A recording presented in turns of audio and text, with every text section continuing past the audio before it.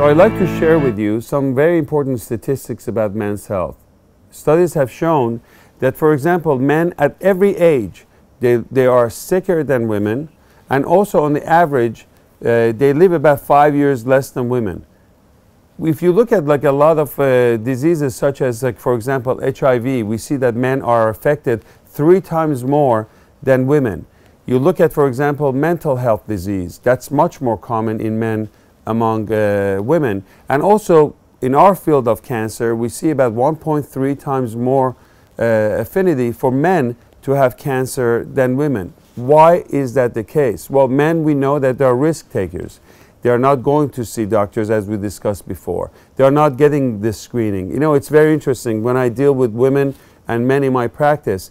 Men are the kind of species that when something is not broken, they really don't want to fix it. If the car is not making the sound, and this is not to compare human body with a car, even though there are a lot of similarities, but if the muffler is not making the noise or if the car is not running well, there's no reason to go see the mechanic. Well, it's the same thing that you know goes on uh, among men.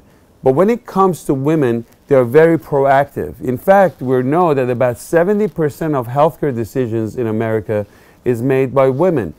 As I discussed before, it's our wives and girlfriends and your mothers that are pushing you to go out and get tested.